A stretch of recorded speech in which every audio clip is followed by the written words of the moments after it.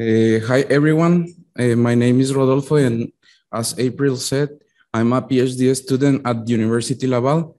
And today I'm going to present my research project focused on developing a new accelerate method for evaluating, evaluating of the sulfide bearing aggregates. So for today, we will, we will have this outline. And now I'm going to start to speak uh, about what are those iron sulfide minerals that are affecting our concrete structures. So the iron sulfides are minerals that can be found in different type of rocks and are composite mainly for iron and sulfur. This can be like in a golden color, yellow yellowish color. And when the rock is crushed, it can be on the, on the aggregate. And with, with water and oxygen can be oxidized and this is what we found in the, in the quarry of Trois-Rivières in Quebec City, Canada. Those uh, iron sulfides, uh, when they are present in, in concrete, we call them as a sulfide bearing aggregates.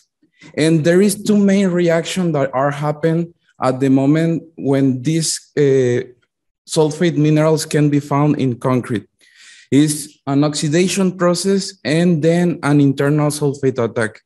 But it's really important that we need to understand that if the oxidation process doesn't start, we will not develop the internal sulfate attack because the sulfur, it will be fixed with the, with the iron in the mineral.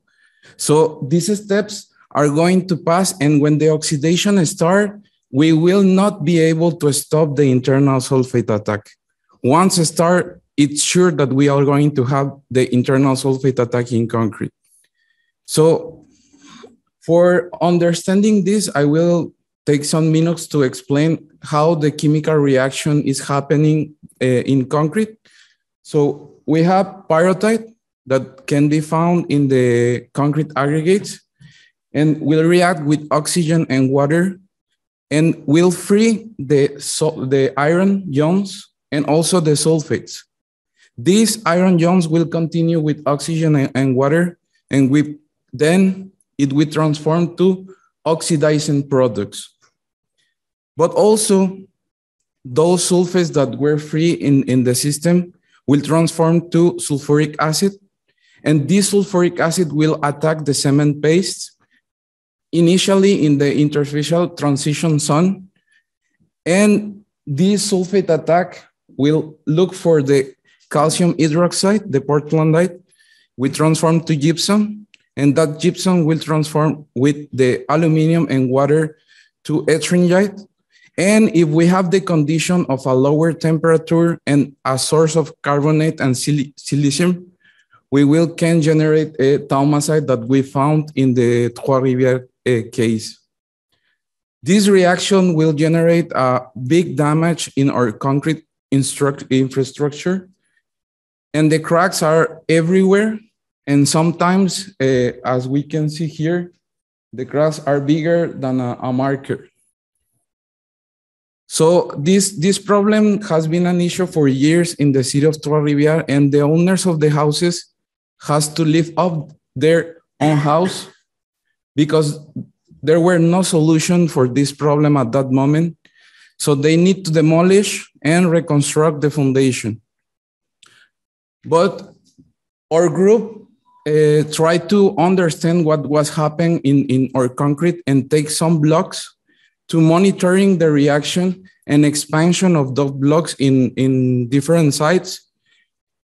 And we found that some of the traces, traces of the, this reaction there are like a yellowish or orange color due to the oxidation of the pyrrhotite and also for the internal sulfate attack that is suffer the concrete. Uh, we notice also that the humidity can influence the reaction and in some parts of the houses where there is not concrete that has been exposed, it can be less damage than some parts of the houses that has water available. So with that, in 2010, uh, the PhD student from another PhD student from University Laval, Andrea Rodrigues, she developed a uh, testing procedure for uh, evaluating the performance of the sulfide bearing aggregate. But this program was focusing in testing the aggregate itself, not the aggregate in a concrete environment. So there is a lot of preparation for the rock because it has to be uh, crushing to obtain different size. So we can do a total sulfur content test, an oxygen consumption test, because we are we are oxidizing the minerals so the oxygen can be a, a, a key for for this problem and she developed an expansion test with mortar bars. But as i say at the beginning is not in concrete aggregate size. So for the moment we don't have any test as we can found the aggregate in the in the foundation or inside. And my project was focused on, on trying to develop that test that can be quickly uh, determined if we are going to have problems with those minerals. And with all this background, I remember something for civil engineering. And this reaction is similar to what I found in the corrosion. So in corrosion, we have the electrochemical cell that is formed with a cathodic area and anodic area where the iron is going to be free and will react with the oxygen and water and we create the rust. But I saw that when chlorides are present in our system, the, these chlorides will react with the iron and the iron will be free to the surface. And because those products are not stable, chloride will be free again and the iron will be free in the system with the water and oxygen. And this is a cycle that is, it will never stop. And the rust will continue and continue and continue. So with that, I, I take this background and I say, okay, I will develop my program. And I propose these uh, objectives that it was to understand the uh, effects of the humidity on the reaction, to develop a new accelerate test to try to evaluate the performance of the sulfide bearing aggregates. And at the end, when the test has been done, uh, testing the, the concrete and evaluate the performance of the concrete once the oxidation and the internal sulfate attack has happened into the concrete specimens. So for that, I developed this methodology. So I create new concrete I, I mix new concrete in the lab and I propose two different uh, treatments to accelerate the reaction of the sulfide bearing aggregates. First one was an electrochemical treatment that is composed to two, two phases of the oxidation process. The first step is to activate the oxidation, and the second step is to uh, accelerate that, uh, that oxidation that has been already uh, been activated. And then I submit the, the concrete specimens to a wet and drying cycle and a water source so the, the reaction can be developed and the internal sulfate attack can increase. And after to evaluate the concrete properties. And also I have another treatment that is with a wet and drying cycle using uh, bleach as an oxidation, oxidation solution. And in the bleach, the chemical formula is NaClO. So chloride are present. And I think that's why in the mortar bar, we are generating some expansion because the chloride is present in the, in the system. Using uh, for the testing a high temperature and low relative humidity. And then the same inter, uh, condition for generating uh, internal sulfate attack with lower temperature and high relative humidity. But today I'm going to focus only in the oxidation process because as I said at the beginning, it has to start the oxidation process to have the internal sulfate attack. And this can be take a lot, a lot of time. In the field, we, we uh, understand that it takes around 10 to 15 years to start reacting. And also I will focus only in the electrochemical treatment that I propose for this experimentation because we think that the, this approachment can be really uh, useful for evaluating the performance of the aggregates. So this is the new concrete that we make in the lab based on the work that uh, was made for Benoit Durand in Hydro-Quebec. He makes some blocks and make an exposure site with uh, the aggregate that has been troubling in Trois-Rivières uh, city. And for me, I take three more non-reactive aggregate to, to confirm that I don't generate something more in the concrete specimens. And one of them is the same mineralogy, mineralogy that the Maschimo uh, aggregate, that is the, the aggregate that has been used for the Trois-Rivières situation. This Maschimo aggregate, we have two, two different uh, total sulfur content. One is a super rich uh, total sulfur content, and the other one is just rich total sulfur content. So with that, I make the, the, my idea of an electrochemical treatment. The first thing is to penetrate chloride with uh, in, into the concrete. So at some point, you migrate chloride into the concrete and it will pass the time and will continue the penetration of the concrete in the specimen until I reach all the specimen can be penetrated with uh, ions of chloride. So the chloride can be available to, to activate the oxidation of pyrrhotite. And then I continue apply some voltage. And with this voltage, I can accelerate or continue improving the oxidation of the pyrrhotite. We will dealing with some uh, things for this testing. And I'm going to present here four of the main aspects of the testing that has been uh, done at the University Laval. The first thing was the specimen size, because in the standard that we use, or we know normally we, we use just a pocket of 50 millimeters of uh, length. So we started with uh, a, a sample of 100 millimeter length to see if we can penetrate chloride into the concrete. And after five days, I reached to penetrate all the 100 uh, millimeters. And I measure th this penetration of chloride just by a colorimetric uh, testing method by spraying silver nitrate into the specimen. And the silver nitrate will react with the chloride and will create like a whitish color into the specimen.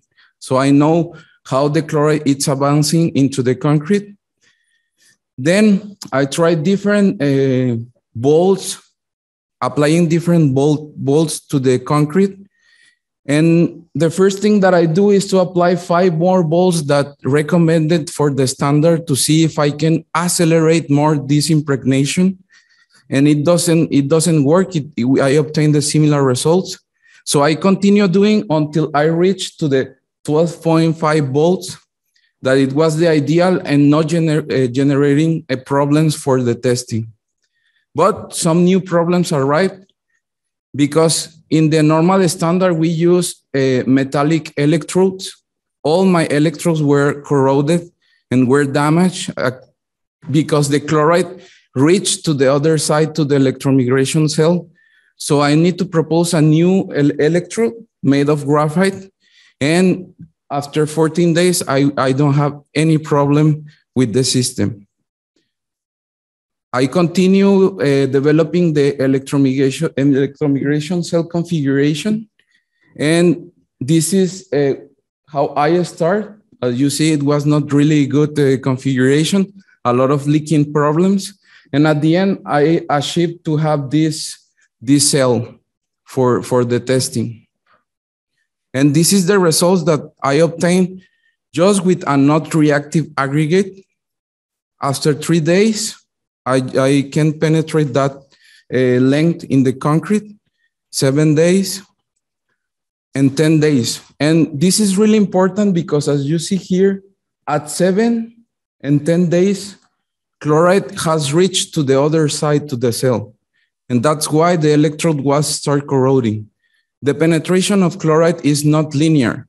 So I was dealing problems with that until I, I, I have the graphite electrodes. And this is after 14 days, the specimen was totally penetrated with chloride.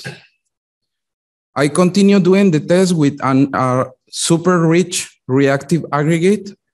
And after 14 days, the specimen starts showing oxidation and some cracks due to the reaction of the pyrrhotite uh, or the iron sulfide minerals. As I said at the beginning, the second step is continue with the voltage to see if I can accelerate the, the reaction. And this is the result. So the reaction continue and crack everything in, in the concrete. But the problem is that we can saw clearly there is some damage in the concrete, but what to measure?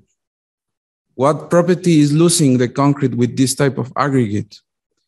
So we tried different testings. We tried all of these testing to see in which one we can obtain some good results to evaluate the performance of these sulfide bearing aggregates. And this is the my the first result that I want to present is the expansion test.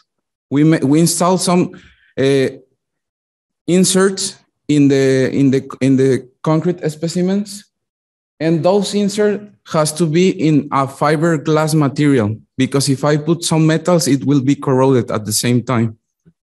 So I measure the expansion, and we can see clearly here that within the time more time in the electrochemical treatment, we will generate more expansion. The problem is like the, the variation of the results. And this is due to the variation of the pyrrhotite in the aggregate at the same time. Another interesting result is the ultra pulse velocity test. It's really, really interesting, but we think that maybe we can we will not be able to use this tool for evaluate the aggregate because is we can see clearly that for reactive aggregate it descend the, the velocity and for not reactive aggregate in, it increase but the value is is so small that we we will don't know if we have a lower quantity of total sulfur aggregate and we can see the same effect. So we continue doing the testing and the, we think that the most promising uh, evaluation test for those aggregates is the modulus of elasticity. We can see it here after uh, within the time, the modulus of elasticity of the concrete was decreasing and it's because it's highly influenced by the performance of the aggregate. And when it start cracking, it will decreasing the modulus of, of elasticity. And this is the beginning. As we see here in a concrete plaque that I cut and polish, some iron sulfides are clean. They are not react or maybe just a less reaction. And this is what's happening after the time. The pyrrhotite is activated and the cracks start uh, being uh, done into the aggregate and transferred to the paste. And I observe also roasted products mm-hmm. in the in the in the cracks in concrete. I continue the testing with a not reactive aggregate, and this is the uh, modulus of elasticity, the potential modulus of elasticity of the mix design. And this is what is happening with the with the electrochemical treatment for the sulfide bearing aggregate. So for confirming that the test is working and we are generating the right products, we go to the microscope and we found the rust products in, in, in the concrete specimens. And as I say, if the oxidation start, the internal sulfate uh, attack, it will start at the same time because sulfur is available in the system. So we, we can find the ettringite already after this uh, 35 days of, of testing. And I confirmed that the pores were clean in a non-reactive aggregate with 0% of total sulfur content. So the conclusion of this is that the electrochemical treatment are inducing the iron sulfide oxidation process. Chloride ions are catalyzing the oxidation of pyrrhotite. Secondary products were found in the microscope or were confirmed with the microscope uh, techniques. And the modulus of elasticity is the most promising evaluation parameter for the sulfide bearing aggregates. And for our perspective, we need to continue testing more aggregates with different total sulfur content. For uh, at the end, we will be able to develop a full quality control testing protocol. And for finish my presentation, I would like to invite everyone. We are planning a conference on the iron sulfide bearing reaction, an international conference that will be done in 20, 2024